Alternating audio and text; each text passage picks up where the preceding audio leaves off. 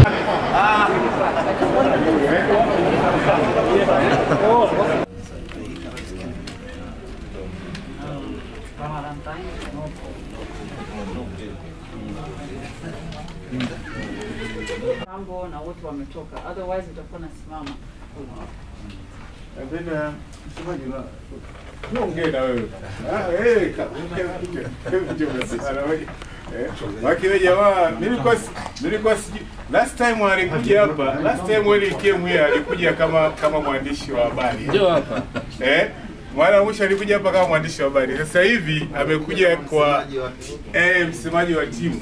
Alafu nilikuwa sidhani nilikuwa sijui kama anaweza kuzungumza. Eh?